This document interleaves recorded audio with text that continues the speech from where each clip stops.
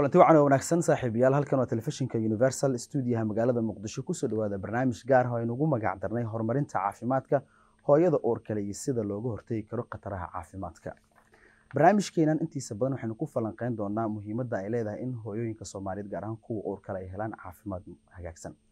Dhibaatooyinka caafimaad ee hooyooyinka uur ay wajahaan waa kuwo halis mar walba u gelin kara caafimaadka hooyada iyo sidoo kale midka ilmaha caloosha ku jiraba culeysyada dhanka caafimaadka ee xilliyada uur kale waxaa jira ama jiri kara xaalado u horseedi kara hooyada inay la kulanto khatar caafimaad oo muddooyinkii u dambeeyaba soo ifbaxay. Inta badan hooyada uur kalihi ma hesho macluumaad la xiriira calaamadaha muujinaya khatarta caafimaad markay isku aragto xilliyada uurka ay leedahay taasi oo sababi karta dhimashada hooyooyinka iyo sidoo kale carruur badan. Calaamadahaasi sidoo kale waxaa ka mid ah dhiigbax iyo sidoo kale madax daran tabardarri jirka oo gariira argagax aragga oo xumaada iyo sidoo kale cagaha oo barara hooyada uur kale. Arrinta kale ee murugada leh ayaa waxa ay tahay marka hooyada foosheedu ay qaadato in badan laba toban saacadood haddaba si aad dabcan uga badbaado hooya halista caafimaad fadlan gaar m c h ka kugu dhow si xaaladaada caafimaad loola socdo. Barnaamijkeenan waxaa marti inoogu ah maanta dhakhaatiirteena kale ah ditoreysa sahra cawad warsame oo ka howlgasha xarunta alzahra iyo sidoo kale ditoreysa xafsa cabdiraxmaan maxamed oo iyadana ka howlgasha xarunta alamal sidoo kale barnaamijkeena waxaa qayb ka ah dhalinyaro baratay xirfadda caafimaadka iyo kuwa haddaba barta. Waxay su'aalooyin kala duwan weydiin doonaan dhakhaatiirta. Marka ugu horeysa waxaan soo dhaweynaya ugu horeynta tooreysa sahre cawad. Kusoo dhawow barnaamijkeena. Waa mahadsan tahay horta arrintan hooyada iyo hooyada uurka leh waxyaabaha adeegeeda ama loo adeego caafimaad ahaan waa waxaan dhahnaa yani medicine ahaan antinatal care.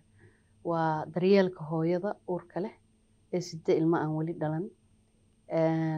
Dhibaatooyinka marka ay soomaalida haddii laga hadlayo haddii adduunka kale si joogto ah wacyigelin hooyada ah oo ku saabsan inay ka baqayso waxyaabaha complicationka ama caqabadaha ku imaan kara hooyada uur kale marka ay aynan la xiriirin dhakhtar iyo faa'iidooyinka ay leedahay la xiriirta dhakhtarka waxaa muhiim u ah in la ogaado haddii hooyadu markay uurka qaato ay dhakhtar la soo xiriirto waxaa laga yaabaa hooyadaasi inay xanuuno kale lahayd.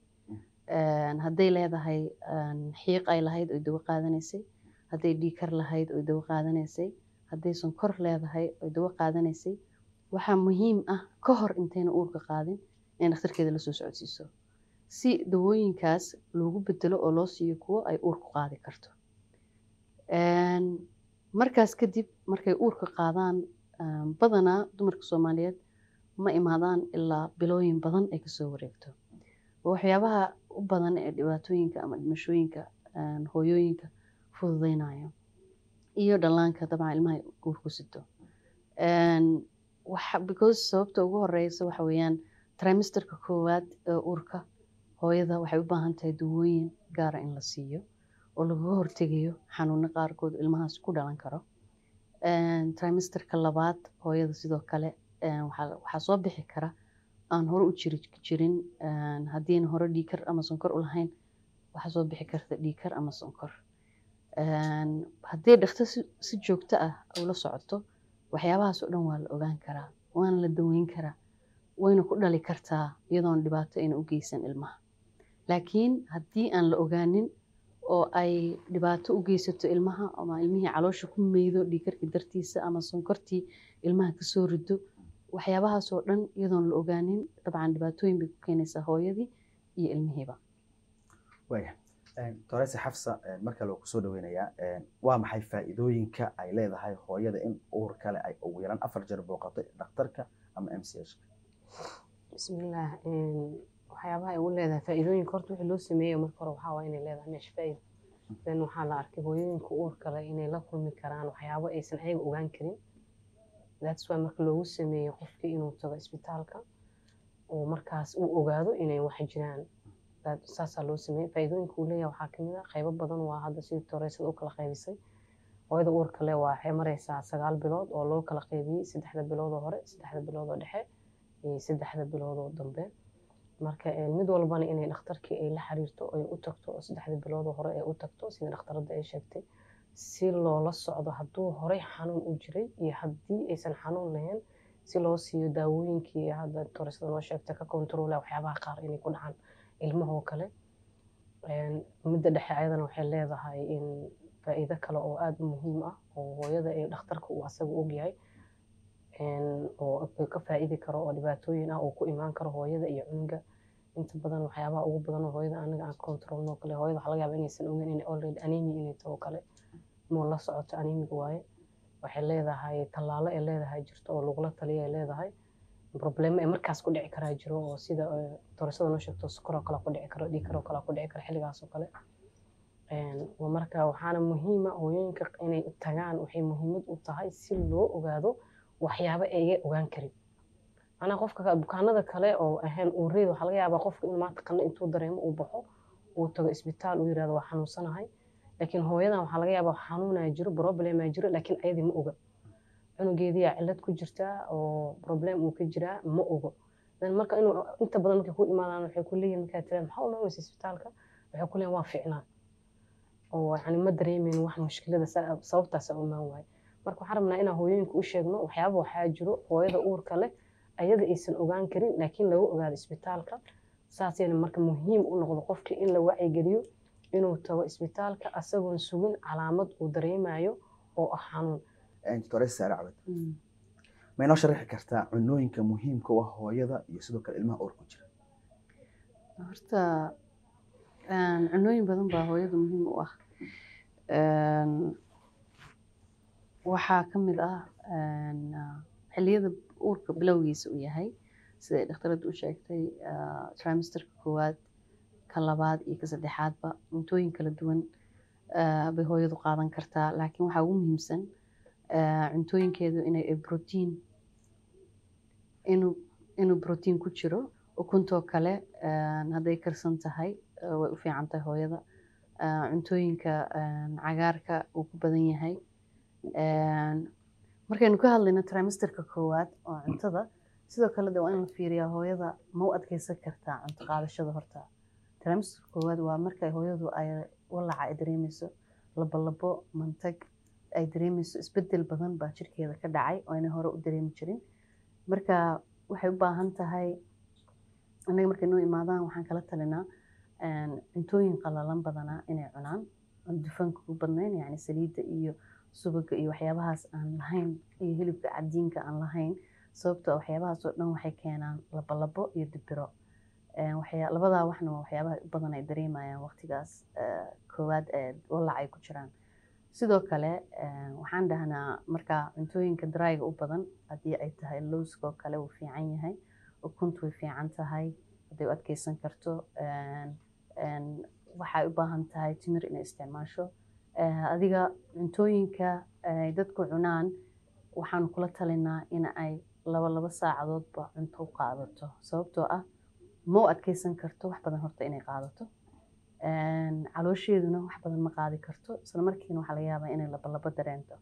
Marka inay in yar oo faa'iido leh ay cunto haddee xitaa laba qaado ama saddex qaado oo cuntadaas ka mida ay tahay baa ku filan laba saacadood haddana inay haddana ku noqoto haddana laba saacadood marka maalinkii marka la isku geegeeyo waxaa laga yaabaa toban jeer inay wax cunayso intaasi markaa ay isu biirto. Laakiin haddii la dhaho saddexda waqti ee dadku caadiga wax cunayaan bay cunaysaa ma qaadi karto hooyada uurka leh bilaha ugu horreeya marka ay tramisterka labaad gaaraanna waxa weeyaan okay weeyaan hooyadu wax kasta way cuni kartaa.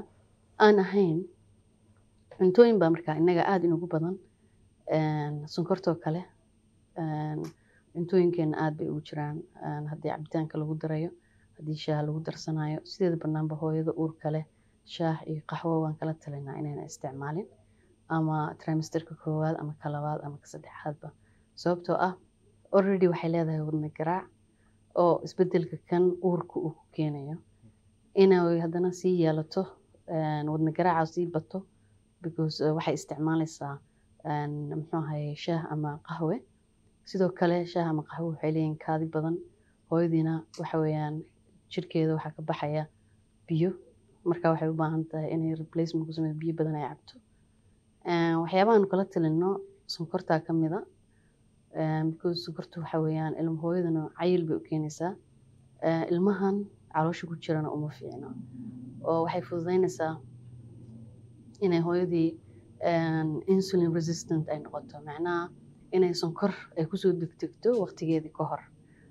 Haddii ay family hiddo u lahayd markeedii horena jaaniskaasi aad buu u badanayaa isticmaalkeeda sonkortuna uu badan yahay inay ilmahaas ay hooyada ku imaato eh, gas- gestational diabetes waxaan dhahnaa ama sonkorta uurka oo hooyada ku imaato. Marka cuntooyinkaas waan kala talinaa weliba carbohydrateska eh, sonkorta isu bedelaya hadhowto inay ay yareystaan sidoo kale barafka qabowga em, biyaha qabow.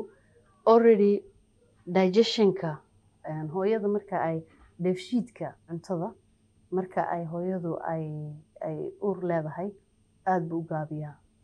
Marka halkii uu qaadan jiray maybe cuntada mucayana afar saacadood waxaa laga yaabaa lix saaca ama sideed saacadood inuu qaato. Waxaan kula talinaa in ay em, maaragtay qaataan cuntooyin aan maaragtay dhibaato u keenin waxyaabaha cuntooyinka kale ee muhiimka ah yana trimester-ka u dambeeya ilmuhu zaa'id u weynaadaa.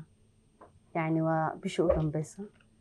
Waxaa laga yaabaa miisaan inuu ku fuulo almost wiigii zero point five k g inuu ku ziyaado. Marka hooyada waxyaabahan kala talina waxa weeyaan bishaas iyo bisha ka horeysaba inay socod badan sameyso si ay u gubto cuntadii ay isticmaashay sidoo kalena in ay cuntada isticmaalka carbohydrate-ka ama waxyaabaha lagu naaxayo ee sonkorta leh inay yareyso.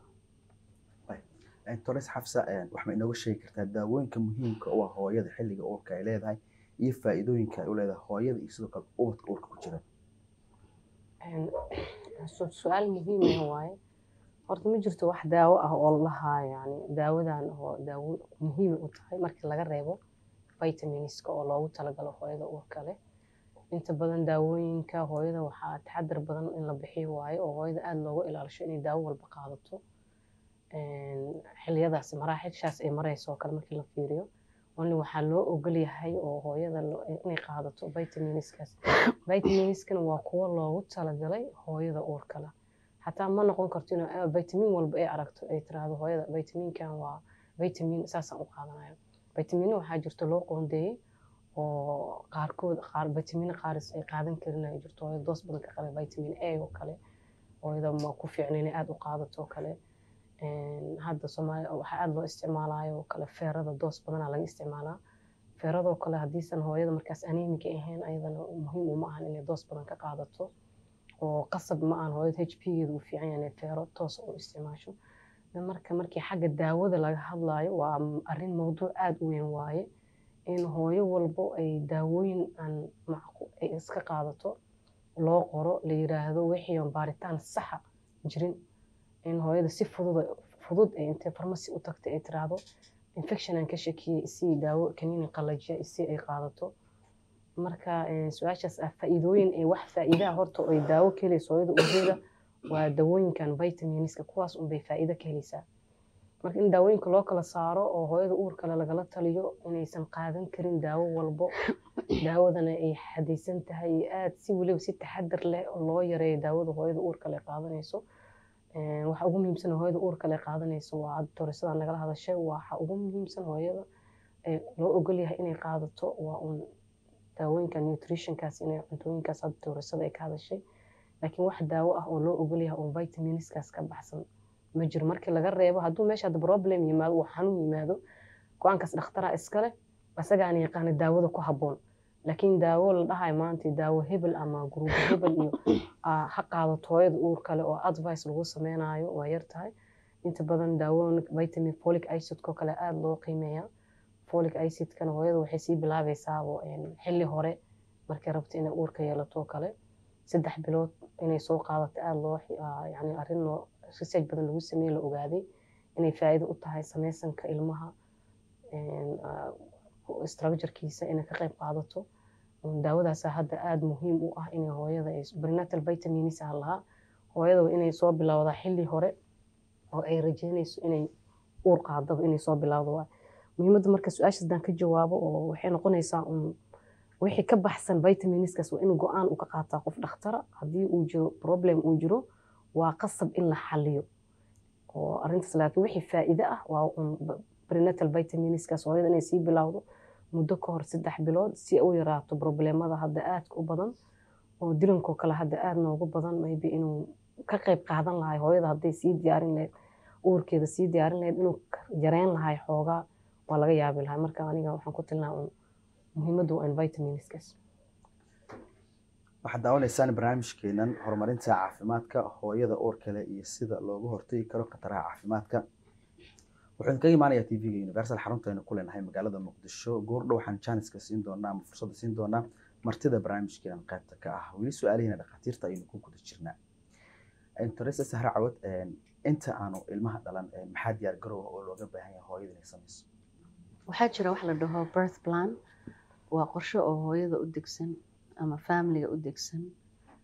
Qorshahaasi muhiim wuxuu u yahay hooyadu in ay isticmaasho horta family qoys ahaan inay isu diyaar garoobaan. Horta ma jiro uur adduunka kale layska qaado.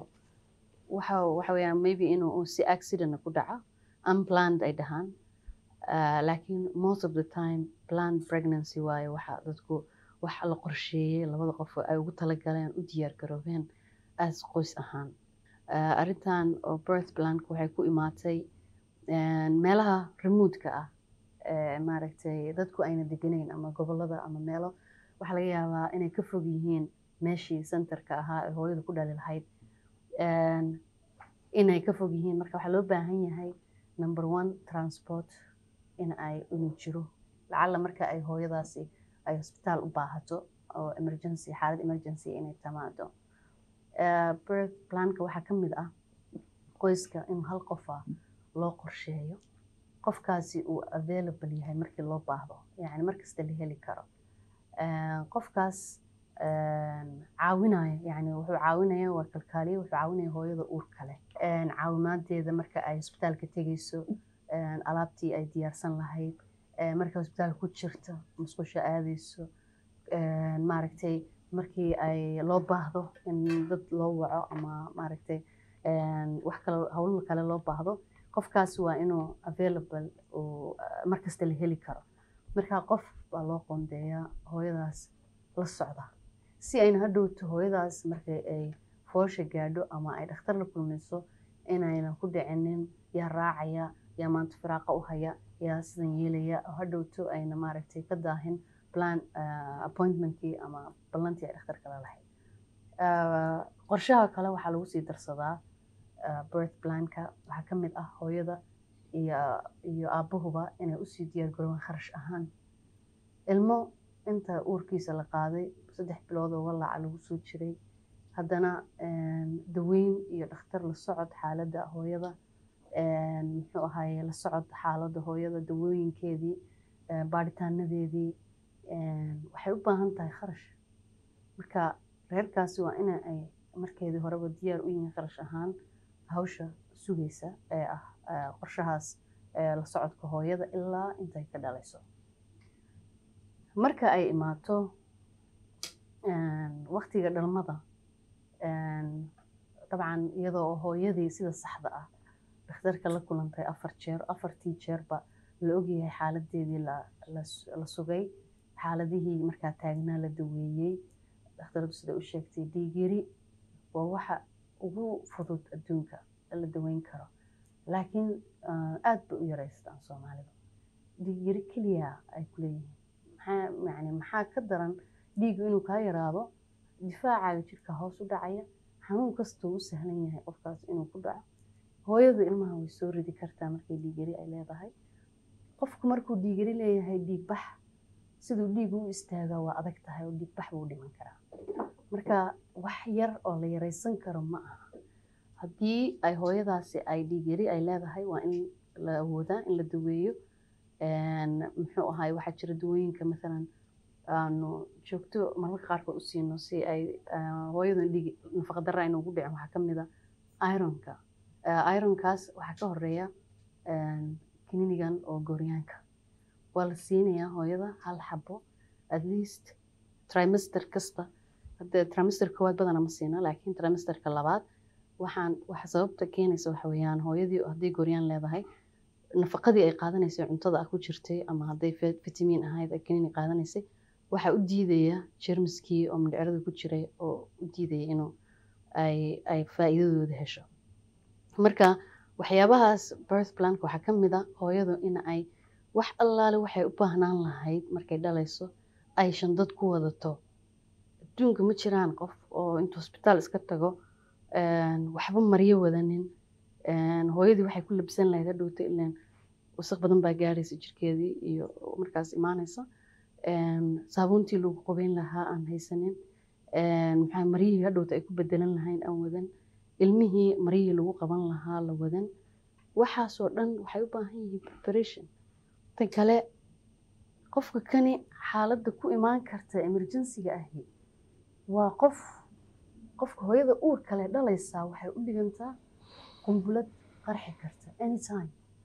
Yacni waxay u baahan tahay wax allaale wixii loogu talagalay oo lagu badbaadin lahaa hooyadaas inay diyaar yihiin xaruntaas haddii hooyadu dhiiggeedu noociisu uu yahay nooc naadir ah ama markeedii horeba dhiig yari uu dhakhtarku u sheegay dadka imaanaya markii hooyadaas ay dhalayso waa inay la socdaan dadkii dhiigga shubi lahaa. Maadaama aanu jirin blood bank wadanka kan 24 hour available ah uuna jirin. Haddayna jirinin sidaa la ajligeeda dadkan waa inay diyaar u yahaan dhiig shubaan oo dhiig u shubi karaan hooyadaas. Hooyadaasi waxaa khatara inay u dhimato dhiig la'aan oo dhiig la waayo inta la raaraadinayo iyadana dhiig bax ku dhaco. Markeedii horeba haddii ay dhakhtarka la socon lahayd iyadoo oo dhiig yari ah kumay dhasheen because dhakhtarku marka ay trimesterka saddexaad imaadaan oo hooyadu dhiig yari ay tahay oo aan u aragno inayna ku dhali karaynin dhiiggaas. Mararka qaarkood waan ku sii shubnaa waa loo sii diyaara waa lagu shubaa. Kadib muddo kadib bay hooyadu markaa dhalaysaa. Hooyo waxaa imaanaysa sagaal bilood dhakhtar aan la kulmin dhiiggeedu kacsan yahay brotiinkeeda kaadida aada u badan yahay iyadoo dhani ay bararsan tahay qalal ku sigan inay eklamsiya noqoto. Waxaasoo dhan haddii aan markeedii horeba aan la sii diyaargaroobin ama reerkaasi qoyskaasi ayna u fiirsan calaamadahaas aan loo sheeginin dee markaa ma garanayaan khatarta ay hooyadaas ku sugsan karto. Marka waxa waaye diyaargarowgu wuxuu ku xiran yahay macnaha qofka kan in laga badbaadiyo inuu emergency galo hadhowta loo waayo. Wixii u baahnaa torese xafsa ma inoo sheegi kartaa khatarta ka dhalan karta haddii hooyada uur kale ay ku dhasho umuliso dhaqameed? Waa imaan karaan khataro oo haddii hooyada ay ku dhasho meel umuliso ama umuliso dhaqameed ha ahaato ama umuliso kale ha ahaato. Hooyo mar walba ay dhalayso waxaa muhiim ah inay ku dhasho meel u dhammaystiran tahay waxyaabihii way u baahnaan kartay inay haddii imaadaan emergency. Macnaha meel walba umulisaha xataa haddii qofka umulisnimada soo bartay macquul inuu waqti hore garto hooyadan inay halis geli karto. Laakiin umuliso dhaqameedka waxaa laga yaabaa inaysan fahmi karin ilaa ay gashaba hooyadii xaaladii adag inay gasho. Marka khataraha ka imaan kara waxaa umuliso dhaqameedyada ma garan karaan ama ma fahmi karaan xaaladda hooyadan inay u gudbi karto waqti walbo xaalad adag. Waxaa laga yaabaa qof iska normal ayada u arkayso umuliso dhaqameedka inaysan normal ahayn. Waxaa laga yaabaa umuliso dhaqameedka inaysan haysaninba u diyaargaroobinba ama aysan u diyaarsaneen qalabka loogu talagalay. Haddii incase cunuga uu dhasho kale waxaa laga yaabaa muhiimaddu waxay tahay qofka hadduu umuliso yahay umulis wax ay tahay. Waxaa laga rabaa marka horeba inay ogaato cunugan u dhalanayo intuu caloosha ku jiro xaaladiisa caafimaad inay og tahay macnaha ma ahan markaa aragtaba inay aragto cunugii already naqas ku dhegan yahay ama cunugii meyd ama markaas isla daqiiqada kahor nafta ka dhacday amaba asagoo naqas hore waxaa la sii ogaan karaa waqti hore cunugan intuusan soo bixin xaaladiisa caafimaad waxay tahay aan ogaan karaa.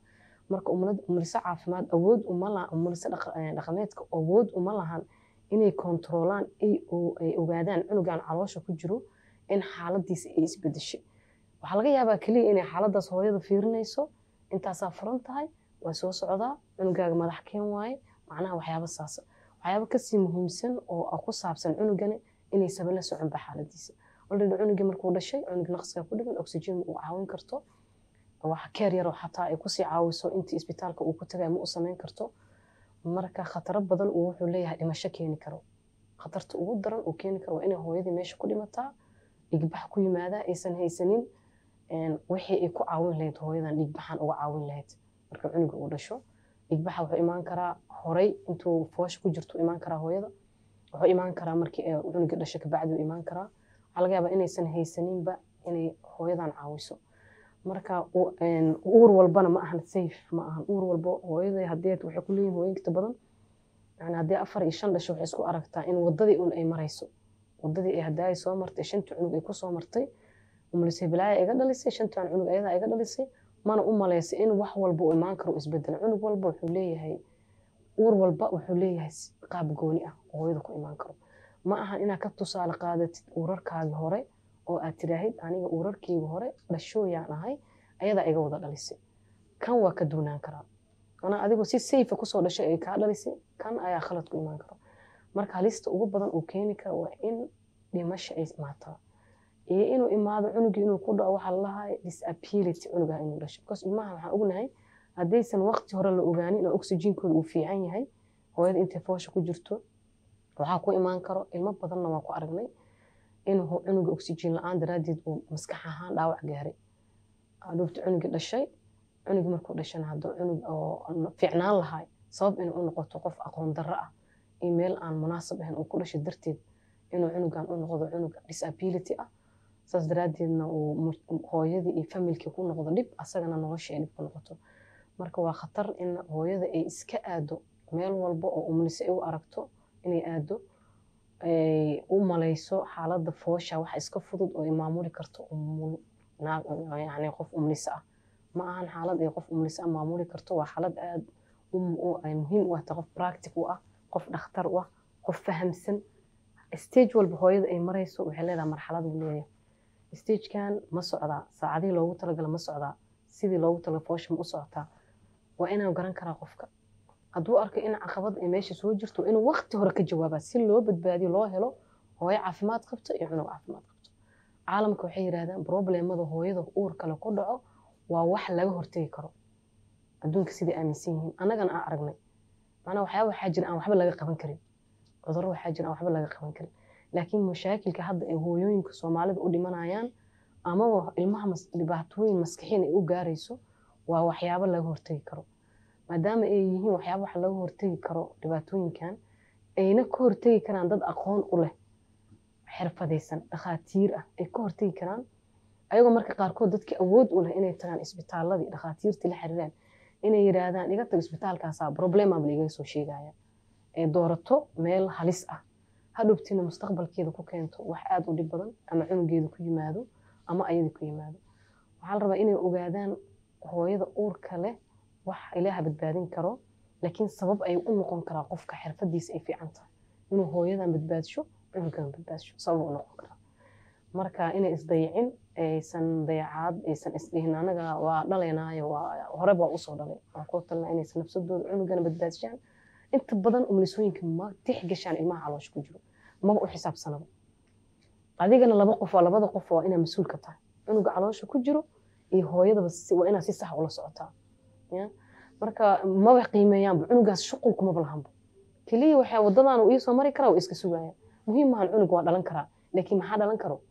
Cunug caafimaad qabo inuu dhashaa umulis dhaqameedka ula jeedaa. Soma cunugan waa dhalan karaa waa muhiimadda ma aha waa dhalan karaa maana muhiimaddu waxay tahay waa cunug caafimaad qab inuu dhalan karo. Yaa ogaan kara marka cunug caafimaad qab inuu dhalan karo. Waxaa ogaan karo dhakhaatiirta iyo isbitaallada loogu talagal ayaa fahmi kara. Dan marka waxaan rabaa inaan u sheego halista ay leedahay umulis dhaqameedyada oo ah dhimasho iyo in uu gaaro cunugii dhaawac maskaxiyin ah. Toresana ku soo noqonaa toresana mana sheegi kartaa faa'iidooyinka hooyada uur kale u leedahay inay tagto goob caafimaad oo dabcan ay kalsooni badan ku qabi karto inay ku umusho. Hooyada uur kale sidaan u sheegnay waxa weeyaan xaaladeedu waa markay dhalayso waa arrin aada u muhiima oo qoyskao dhan khuseeya meesha ay ku dhalaysana anu waxaan dhihi lahaa hooyada haddii ay markeedii horeba dhakhtar la xiriiday waqtigay uurka lahayd in ay dhakhtarkaas agtiisa ku dhasho haddii ay serviskii saxda ahaa ay ka helayso. Serviceka markaa saxda ah waxa weeyaan oo xarunta laga rabaa number one maaragtay hooyada haddayna hore loo soo arkin. Waa in la ogaadaa ilmaha xaaladiisa. Waxaa la sameeyaa ultrasound apart from clinical examination oo dhakhtarku uu ogaanayo ilmihii inuu toosan yahay bilihii inay saxan yihiin inuuna ilmuhu ka weyneyn intii loogu talagalay inayna biyo hooyada ziyaado ku ahayn in markeedii horeba miisaankeeda inta la fiiriyey b m i-geeda la fiiriyey inta uu yahay yani hooyadu inan cayilneyn ama aada u caataysneyn waxyaabahaas oo dhan baa la fiirinaya marka ay dhakhtar u imaato ama xarun saxa ay timaado hooyadu kadibna waxaa la fiirinaya markaas wixii cabasho ay ka qabto haddii ay fooli hayso xanuunka ay dareemeyso sida loo qabanayo daqiiqado tobankii daqiiqoba intee jeer baa laga yaabaa inuu xanuunkaasi qabto. Saacaddii meeqo jeer ku soo noqnoqdaa marka dhakhtarku halkaa wuxuu ka ogaanayaa inuu xanuunka imaanaya inuu yahay xanuun fool sax ah iyo inuu yahay wax fool diin waxay soomaalidu dhahaan ama wax u eg foosho kale. Xanuunna waxaa jira oo contraction oo uterus ku sameeyo laakiin fool aan ahayn waxayna bilaabaan mararka qaarkood toddoba bilood ilaa sideed bilood meelahaas. Waa laga yaabaa inay hooyadu dareento. Laakiin ma aha fool. Markaasna dabcan haddii dhakhtarkeeda la xidhiidho wuu u sheegayaa inayna calaam waxay dareemaysaa inaynay ahayn fool. Laakiin ay tahay wax fool oo kale ah. Laakiin aan fooshu markaa waxa weeyaan contractionka hooyadu xanuunka ay dareemayso waa in ay muddo mucayana intaa jeer oo oo u dhexeeya inta daqiiqadada u dhexeysa ay intaas tahay waa inay xanuunkaas ku soo laalaabtaa markaasaa la oran karaa hooyadan fool saxa haysa. Kadibna dhakhtarku wuxuu fiirinayaa hoos uu weysataynayaa. Inta sentimitir ay hooyadu furantaha la eegayaa. Markaasuu wuxuu ogaanayaa haddii ay afar sentimitir iyo wax lamida ay tahay hooyadu waa labor sax ah waan la jiifinayaa.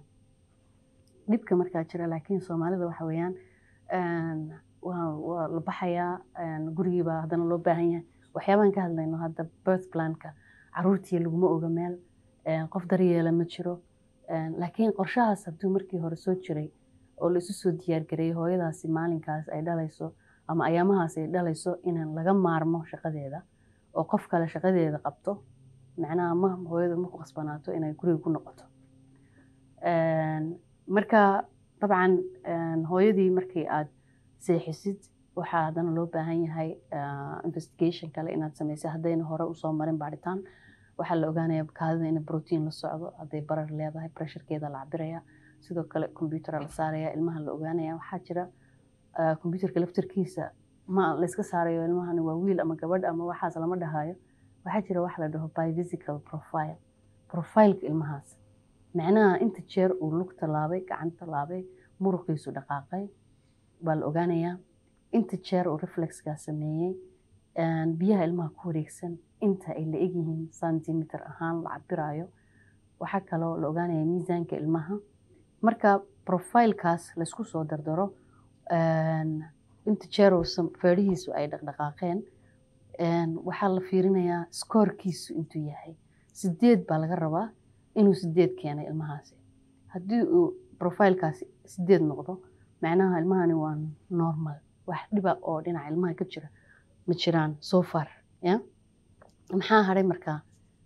Markay hooyadu dhalayso ilmahaas meesha kafka uu ilmuhu soo marayo iyo iyo ilmaha negotiationa ka dhacay okay waa macnaha waxa weeyaan waxbaa diidan ka soo horjeedo waa power against power marka laakiin hadduu ilmuhu toosan yahay madaxiisu toosan yahay wax dhiba oo hooyada ay la kulmaysaa ma jirto. Haddii biyihii iyo waxaasoo dhan profileka aanu ka sheegaynay o dhan uu okay yahay ilmuhuna weyneyn. Marmarka qaarkood dhibaatadu waxay ka imaanaysaa ilmihii hooyadii inay bilo dhaafsatay. Sideed banaanba dumar badan baa waxaa jira oo dhahaan fool ima qabanin marka hosbitaal ma tegayo. Wax layska sidayaa ma jirto koo iyo toban bilood ilmo iska sid waxa weeyaan waa waa too much. Ilmahan ebidatan biyaha kan waxaan oo dhan expire noqonayaan. Wax waliba waqtigay leeyihiin. Sababta ay hooyada u tahay kombyuutarka u horreeya ee hooyada la saarayo ama marka la weydiinayo caadadii kugu dambeysay bishay ahayd exactly sax ah waxaa la rabaa in la ogaado taariikhda uu ku aadan tahay kama dambeys ilmahan inuu dhasho. Taariikhdaasi muhiim bay hooyada u tahay sababtoo ah biyo waa yaraanayaan ebidu waa expire garoobaysaa oo dhagxaan bay sameynaysaa dhiig fiican ma siinaysa ilmaha dhaqdhaqaaqa ilmihii waa yaraanayaa kaadadiisii waa yaraanaysaa. Markaas biyi markay ku yaraadaan hooyada ilmihii waxay ku soo siibta ma haysto wuxuu ku dhasho ma haysto. Hadhowtana waa contraction xanuun waxa keliya ilmaha iyo hooyada u kala dhexeeya waa biyaha. Markuu utrasku bilaabo inuu garaaco toos ilmihii oon waxba u dhaxaynin oo biyihii ay hooyada ku yaryihiin waxaad waxa waxay u dhigantaa ilmahaasi inuu dhimasho uu ku sugan yahay. Sababtoo ah ma neefsan karo ma dhaqdhaqaaqi karo contractionkii iyo ilmihii toos uu u garaacayo waxa weeyaan ma soo bixi karo ilmahaasi. Waxay noqonaysaa aakhirka qalliin laakiin macnaha waxyaabahaasoo dhan waxyaaba la xiriira waqtiga dhalmada hooyada haddii ay xaruntii saxda ah ay tagto. Daktaradu siday ka dhawaajisay waxaan malaynaa soomaaliya waxay ku jirtaa waddanada ugu badan dhimashada hooyooyinka. Sababa laga hortegi karo darteeda. Number one gabdhaha yaryar ee xilliga ka hor waqtigooda ka hor guursanaya taasi waxay sabab u tahay dhimasho badan oo hooyada ah. Sababtoo ah ma gaarin jirkeedii nutrition fiican nafaqo fiican ma haysato. Muxuu ahaye jirkeedu ma diyaarsanaa waxaa laga yaabaa aada inay caato u tahay oo b m i-geedu aada uu u low yahay. Waxyaabahaasoo dhan markay iskaashadaan. Iyo kafkii iyo miskiheedii oon u diyaargaroobin culayskaas inay qaadaan oo hadhowtana sidii la rabay ay diyaargarowgaas u galaan. Waxay keenaysaa hooyada inay fustula ku imaato. Marka number one waxaa muhiima gabadhu inay u diyaarsan tahay jismaaniyan inay ilmo qaado waqtigaa ka hor waxa waaye culays la saarayo. Meel la ogyahay inayna hadhowto ay dhibaatooyinka imaan karaan. Kafkeedu waa yaryahay waa lagu qalayaa. Qalliin bay gelaysaa. Haddiiba ay soo gaadho hosbitaal saxa weeyaan hadday gobollada ka imaadaanna iyagoo already isku furan uu ku dhacay bay imaanayaan waa gabadh yar shan jir kaadidii ka imaanayso hoos meeshii aan loogu talagelin dadkii oo dhan ka wada cararayaan ama saxaradii ay ku furmayso hoos maxay dareemaysaa dhaawaca gaadhaya gabadhaas nafsiyan ma malayn kartid laakiin waa wax laga hortegi karo haddii awareness fiican la sameeyo populationka wax loo sheego gabdhaha wax loo sheego la dhaho nafaqayn fiican ay u baahan yihiin. Intayna horta guryo ayna yeelanin gabdhahani. Taas waxaan ka hadlaynaa dhinaca dhalmada. Marka dhakhtarku markuu weysateynayo gabadhan wuu ogaan karaa kafkeeda ilmahaas inuu soo mari karo iyo inuu soo mari karin haddii uu dhaho ma soo mari karo waxa waaye waa inay diyaar u garowdaa alternativku waa qaliin qaliin baa lagu dhalinayaa. Qaliinkuna dee adduunka sida soomaaliya loo arko dhimashoo kale loo arkaa adduunka kalena waxa qaliinku waa alternative. Waxa waa xal lagu xalinayo problem markaas taagan. Hooyadan ilmo weyn intay hadhowta isku furan ku dhici lahaa intuu ilmahaas sagaalka bilood ama tobanka bilood ay sitay uu kafka kaga dhiman lahaa waa xal. Marka waxyaabaha u badan ee dadka soomaalida ah aan u fiirsana waxa weeyaan markaad tiraahdid horta sababaha isbitaalada uga cararaan waxaa ka mid ah inay u moodaan dhakhaatiirtu inay jecel yihiin inay wax iska qabaan. Dabcan way noqon kartaa dadka qaar inay business ka tahay laakiin isku mid ma aha dadku.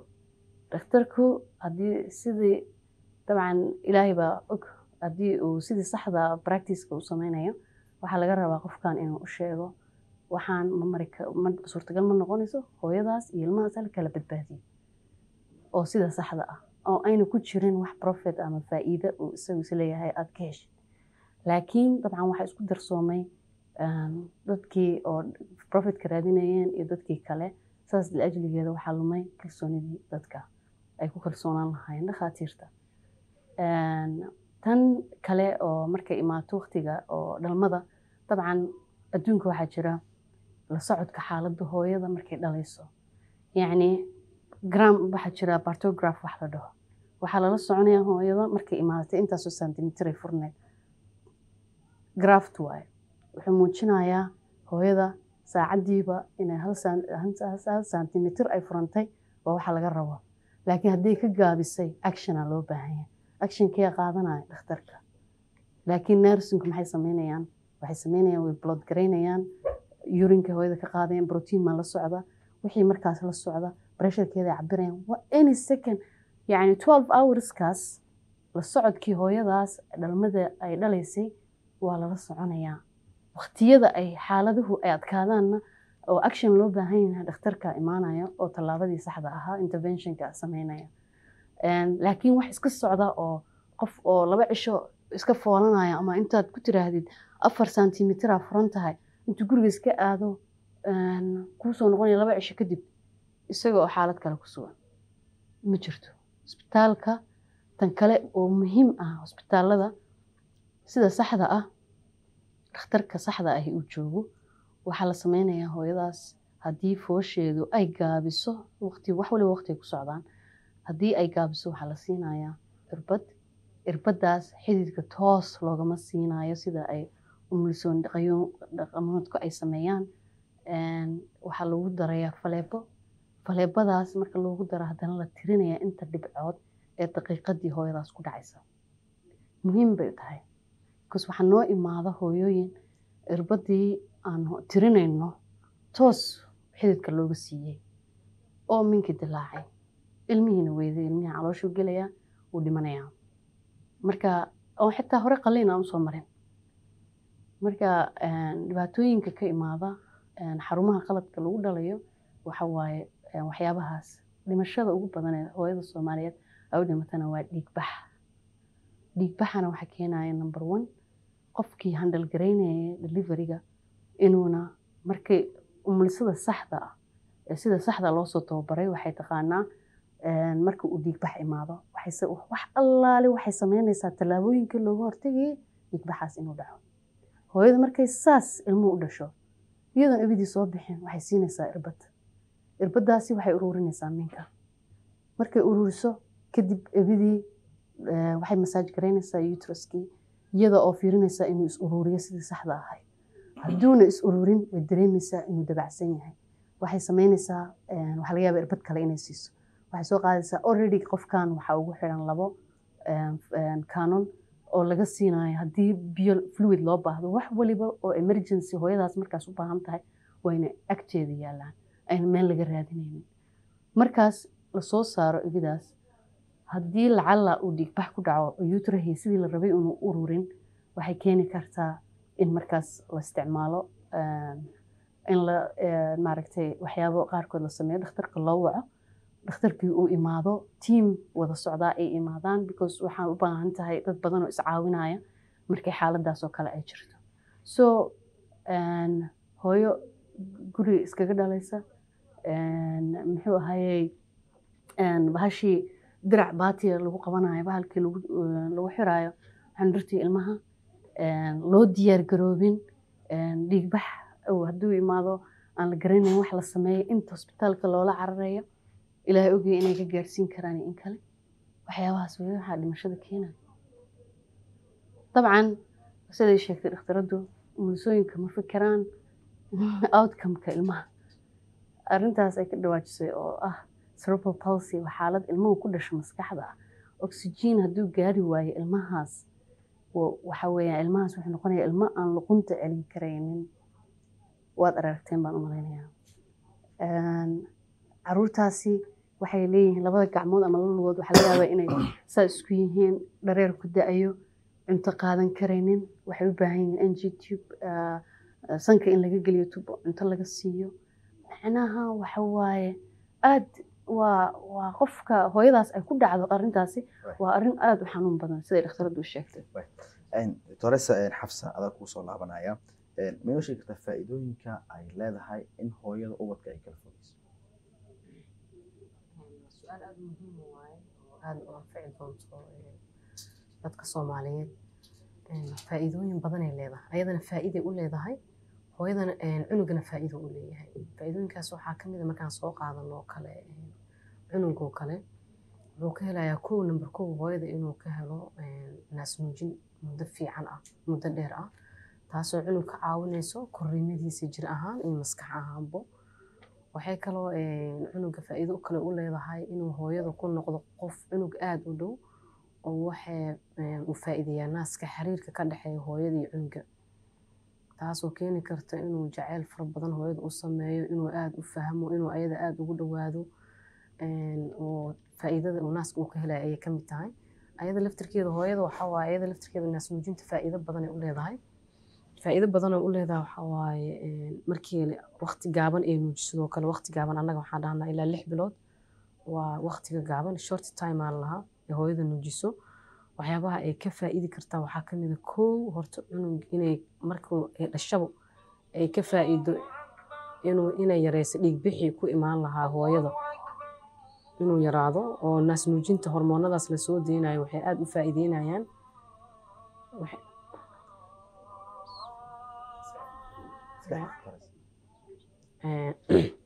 Short timeka markay hooyada ilaa lixda bilood kow waxaan ka bilaabeynaa hooyada waa soo dhashay isla markii naas nuujina ku bilowday. Waxaa meeshaas ka yaraanayo inay dhiig bixi kaas wuxuu ka qayb qaataa hormoonadaas la soo deynayo inuu minka aruuro dhiig baxaas wuu ka yareynayo hooyada labo waxay ka faa'iideysaa maxay ahayd ay ka faa'iidi kartaa cunugeeda uu xiriir fiican ayada laftirkeeda uu kala dhexeynayo oo jeclaanayso ay nuujinayso ayuu ka faa'iidayaa.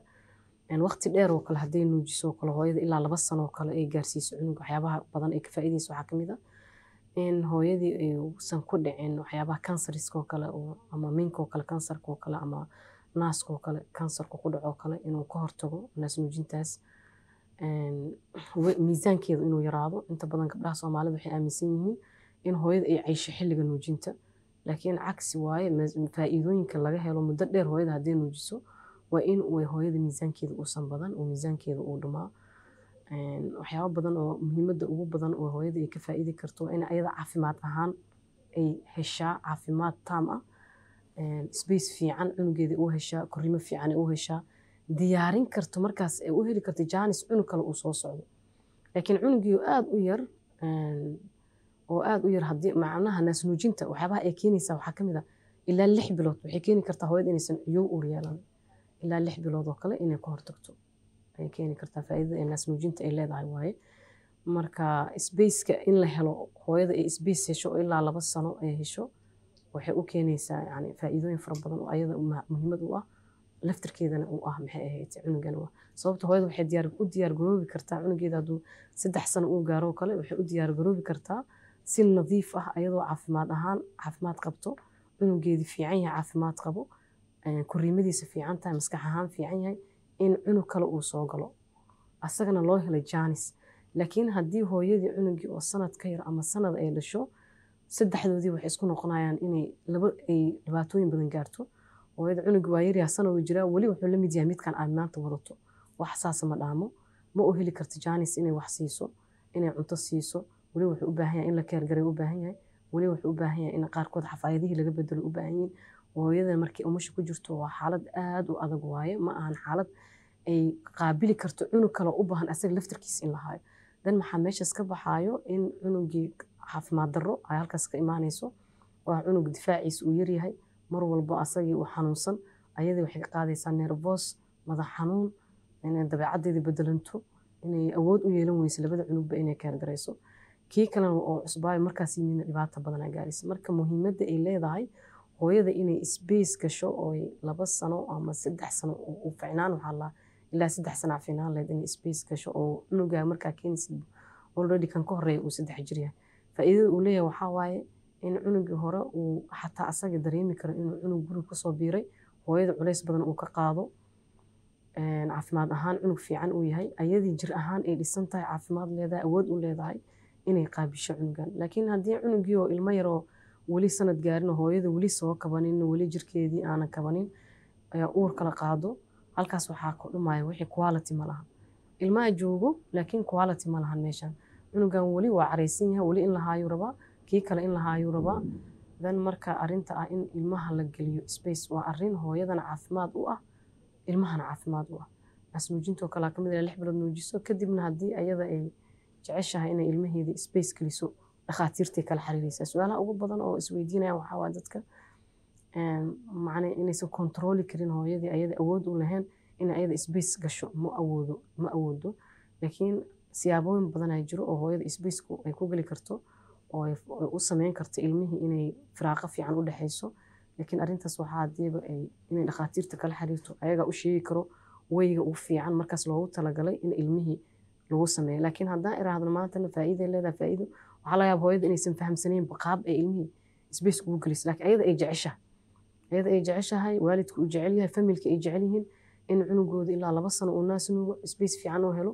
Laakiin aysan aqoonin waddadii ay u mari lahayd marka waxaan rabaa inay arrintaas haddiiba lix bilood soo gaaraanba ay kala tashtaan dhakhaatiirta waa mahadsantihiin daawadayaal waxaad daawanaysaan barnaamijka horumarinta caafimaadka hooyada uurkale iyo sida looga hortegi karo khataraha caafimaad. Qaybihii dambe aynu ku sii dhawaaneynaa markan waxaan u gudbaynaa oo stuudioha nagula sugan martideena oo iskugu jira dhakhaatiir kuwa bartay cilmiga caafimaadka iyo sidoo kale kuwa haddaba barta. Barnaamijkeenan ayay qayb ka yihiin.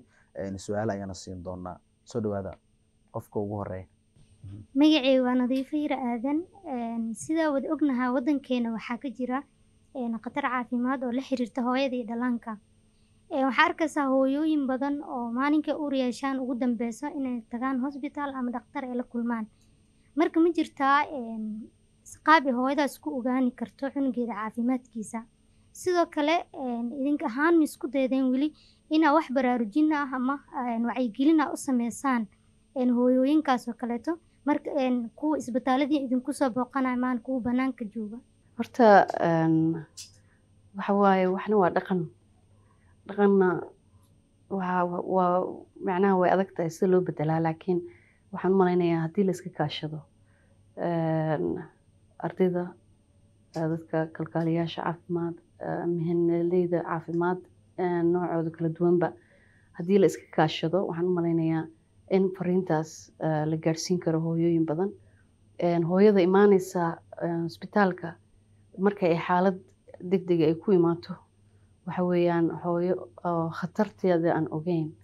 Because hadday og tahay umay bareedheen inay waqtigaas u dambeeya oo weliba fool ay tahay ama dhiig ku kacsan yahay ama ay bararsan tahay ama ay kuma ku jirto ama sokortii ay ku kacsan tahay oo kontaroolkii ka dhumay la keenayo isbitaalka ama ay imaaneyso hadday ogaan lahayd khatarta ay gelayso iyo ilmaheeda ay khatarta ay gelinayso waxaan malaynayaa inayna samayseen. Laakiin aqoon la'aan baa jirta wacyi la'aan baa jira. Dee haddaynu inagu dadkii indhaha u ahaa dadka waxa weeyaan waxaa laynaga rabaa inaynu wax u sheegno wax aynu ku badbadino ku soo celcelino macnaha dadka caamada ahi waxay ka fahamsan yihiin isbitaalka in la aado in mashruuc ama wax kale laga sameynayo. Laakiin waa in loo sheegaa hooyo marka aad idinku aad ku aragtaan banaanadaas hooyo lugaha waa bararsan yihiin uurna waa leedahay sida jirta sida ugu dhaqsaha badan isbitaalkaas la xidhiid hooyada haddayna awoodin hosbitaal private ah hosbitaal dowladeed baa jira oo adeegii privateka lagu qabanayo. Macnaha ma jiro excuse inaan lacag ma haysto ma aadi karo meelna waan ku dhimanayaa anoo jooga gurigeyga. Weliba magaalo aynu joogno caasimada. Gobolada dadkan la soo gaarsiin kara ma aan haysanin hosbitaalada waa macquul laakiin magaalo la jooga. Taas horta waxay la tahay waxaa keenaysa wacyi la'aanta hooyooyinka. Taasna insha allah in laiska kaashado ay u baahan. Anigu magacayga ku bilaabo waa cabdiraxmaan sheekh mahad oo ka mid a dhakhaatiirta wax ku bartay dalka haddaan su'aasheeda u gada galo waxaa waaye laba su'aalood baan weydiinaya toreso sahra su'aasha koobaad waxaa waaye faa'iidada uu leedahay hooyada inay istallaasho intayna uurka ka hor qaadin. Iyo faa'iidada u leeyahay qofka uurku jirta faa'iidada u leedahay. Su'aasheeda labaad waxaa waaye waktiga ku habboon in hooyadaas tallaalka ay qaadato oo kale waa waktigee labada su'aalood baan weydiinaya insha asalaamu calaykum. Okay waa mahadsan tahay horta tallaalka hooyada muhiim buu u yahay xilliyada waktiga ay uurka leedahay. Tallaalka dhowr tallaal baa jira laakiin hooyada waxaa la tallaalaa tallaalka laba nooc ah. Marka jeermiska lagu tallaalayaa uu yahay jeermis dhintay oo la een, inactive ah oon yacni aan maaragtay wax xanuun ku yeelaynin iyo waxaa jira mid active ah ama life ah. Horta waxa la wixii vaccine oo nool hooyooyinka uurka leh laguma talagelin. Waxay qaadan karaan afar bilood ka hor intayna uurka qaadin. I mean bil four weeks intayna uurka qaadin ama marka ay dhalaan kadib ay ka baxaan postpartumka waqtiga oo musha ay ka baxaan kadib baa hooyada la siin karaa tallaalada nool. Tallaalada dhintay ama jermis oo dilan kana waxaa la siiyaa hooyada. Waxaa ka mid a eh, eh, muxuu ahaay tetanada. Waxaa ka mid a eh, pertussis iyo eh, bahalkii diphtheria. Waa saddex tallaal oo isku jira. Hal mar hooyada la isla siiyaa waxaan malaynayaa waxa u badan ee la siin karaa hooyada marka ilmuhu dhaqdhaqaaqa ay dareento oo second trimester weliba eh, laga bilaabo bisha toddobaad iyo ilaa iyo bisha eh, sagaalaad. Ka horeysa wixii ka horreeya baa hooyada loogu talagalay in tallaalkaas la siiyo. Tallaalkana waxay qaataan bil baa u dhexeysa tallaal kasta. Eh, marka at least saddex eh, tallaal hooyada laga rabaa eh, laba tallaal iyo booster oo markaas eh, laga yaabaa hadday hooyadu boosterka ay qaadato in uu protection fiican yeesho ilaa iyo ay ka qaadayso uurka kale. Muxuu ahaye tallaalo kalaa jira oo adduunka kale la siiyo sida influenza eh, virus oo hooyooyinka laga tallaalo. Kaasina waa la siin karaa because ma aha kuwa nool. Waxaa kaloo oo jira oo hadda aynu aragnay waxa covid eh, covid virus eh, covid 19 eh, viruskaas laftirkiisa hooyooyin badan waxaa la leeyahay waa la tallaali karaa. Xilliyada uurka because faa'iidada uu leeyahay hooyada iyo ilmaha uur ku jira baa ka muhiimsan inuu uu dhib u keeno in ilmaha soo dilsho ama ama ilmuhu uu dhaawac u geysto. Waa sacdiye cabdicali waa u mahadcelinayaa dhakhaatiirta waqtigooda een, qaaliga ah noo soo huray iyo sidoo kale tvga universal oo isku hoolay barnaamijkan aadka muhiimka u ah inuu bulshada uga faa'iideeyo. Marka xigta su'aasheeda waxa ay tahay sida wada ognahay soomaaliya waxaa ka jira caado dhaqamooyin xunxun. Su'aasheeda waxay tahay khatar intee la eg ayuu gudniinka fircooniga ah ku yeelan karaa hooyada dhalaysa gudniinka fircooniga markii la fiiriyo hooyada dhalaysa wuxuu ku sameyn karaa saameyn uu ku sameyn karaa oo ah in spacekii meeshii uu soo mari lahaa oo koowaad uu aada u yareeyo oo tuliin badan lagu sameeyo. Waxaa dhib kala kulmi karo dhakhtarka oo examination ka sameynayo inay waxoogaa ku noqoto culays oo meeshii wada xiran uusan helin qaab uu examination ugu sameeyo. Oo markaas laga yaabo xataa uu go'aan khaldan u qaato hooyadu miskaheedi weyn yahay inuu is yiraahdo waa yaryahay because spacekan aadka u yar darteeda. Marka khatarta ugu badan oo hooyada uu ku keeni karo waa in xilliga dhalmada ay fooshu daahdo oo fogaato oo meesha space cariiri noqoto oo xataa uu qofka garan waayo dhakhtarka in spaceka intuu jari lahaay in early la sii jaro kale oo loo diyaariyo maadaama spaceku aada u yaryahay in aan la gaarsiin uu ku qasbo dhakhtarka inuu waqti early ah uu jaro oo uu israado spaceka waa yaryahay meeshaan aaday kugu yar tahay. Yani inti episotomiyada ama qalin jaritaankan ah loo sameeyo hooyada markay dhalayso in xilli hore uu dhakhtarka uu qaato go'aan iska qaato uu yiraahdo u fahmo in meesha ay yar tahay. Marka mushkiladda ugu badan oo gudniinka fircooniga hooyada uu ku keeni karo xilliga foosha waxaa waaye in space ahaan ay aada u yaraato meesha marka arintaas waxay ku soo koobaya doctores waxaa ku weydiinayaa faa'iidada maxaa keeni kara in hooyadu ilmaheeda uurka ku jiro caloosha ay ku weynaadaan? Tan labaadna hooyadu markay dhasho sida dhaqsida leh oo ilmaha naaska loo siinayo soomaalida waxay dambar. Dambartaas marka cunugan oo lagu bilaabayo naaska faa'iido oo intee leeg ka heli karaan inta badan horta laba sabab ayaa jiri karto oo ah genetically dadka marka horeba aslan ay yihiin dad waaweyn oo fir ahaan cunugan ka soo jeedo dad oo waaweyn uu ka soo jeedo oo dad lafale uu ka soo jeedo oo dad dhaadheer oo xoog badan uu ka soo jeedo waxyaaba genetic ah oo keeni kara waaye taas number kow inuu cunugii uu noqdo cunug weyn asagoo hidda raacaya waalidkii dhalay.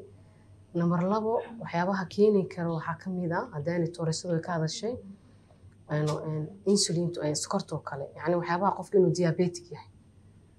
Qof wax kaloo number labo qofkan waa qof diabetic ah oo sokor qabo waxaa u gudbaya marka placentada ama ibida waxay ayada si toosa u gudbisaa glucoseka sokorta si toosay ugu gudbaan. Marka waxyaabaha kale oo la keeni karo in cunugii uu weynaado oo hooyada inay tahay hooyo sokor qabto oo diabetic ah ama hooyo isticmaashay sokor aada u fara badan oo isticmaasho oo keeni karto sokortaasi qaar inay u gudbaan cunuga u gudbo oo saas uu cunugu jirkiisa uu ku gaaray glucose fara badan uu ku gaaray.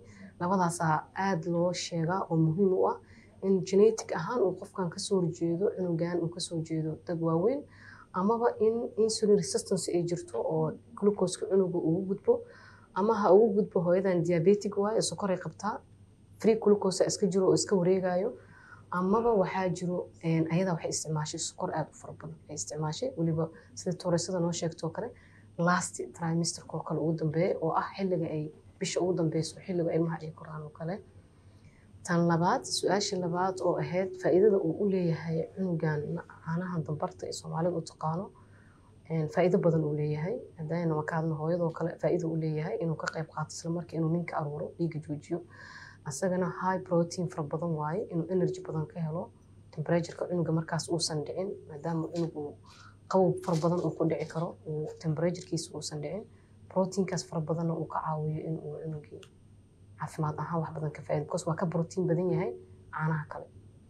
Marka uu ka faa'iido badan yahay caanaha kale. Maadaama uu ka faa'iido badan yahay waxaan jeclaan lahaa inuu asaga siduu uga faa'iido badan yahay caanaha kale uga vitamin badan yahay uga protein badan yahay inuu uga faa'iido badan yahay cunuga. Waxaan ku dari lahaa hal point.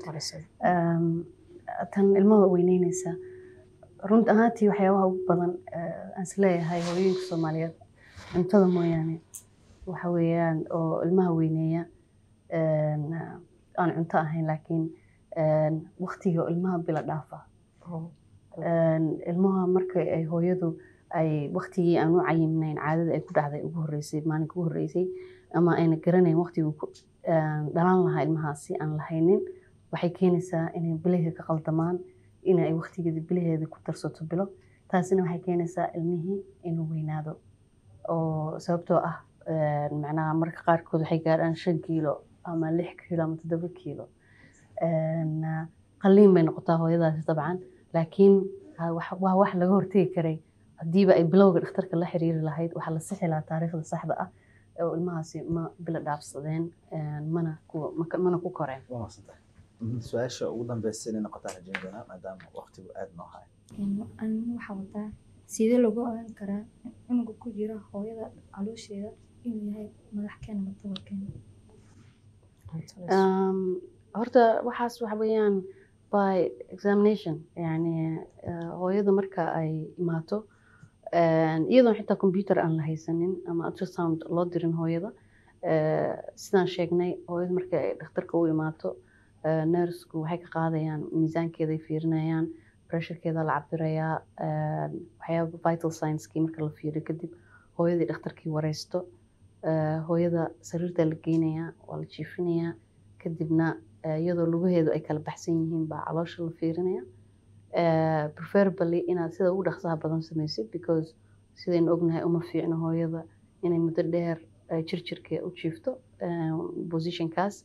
Waxaa laga yaabaa pressureka inuu ka dhaco ilmahana uma fiicna. So dhakhtarka wuxuu sameynayaa cabir ah uu ka qaadayo caloosha cabirkaas marmarka qaarkood faraha waa la isticmaali karaa. Marka qaarkoodna centimeterka loo cabiro baa lagu fiiriyaa. Inta uu utrahu la egyahay buu cabirkaas bilo ahaan lagu qiimeeyaa ama isbuuc ahaan lagu qiimeeyaa. Marka cabirkaas kadib waxaa ka dambeeya waxaan dhahno deep palpation oo ilmihii hadda markaas aad fiirinaysid caloosha markaad fiirisid haddii by appearance xitaa mararka qaarkood waa ku garan kartaa. Meesha aad taabanaysid maaragtay ugu dambeysa utraska haddii uu maaragtay meel gooba oo saasoo kale uu yahay waad dareemaysaa in baridii ilmaha ay tahay. Hoos markaad imaatid la socotid dhinacyada spaceka uu jiro lugihii waad dareemi kartaa. Sidoo kale madaxii markaad imaatid waad ogaan kartaa yani clinically dhakhtarka weysata ahaan wuu ku ogaan karaa ilmahana inuu uu madax ken yahay.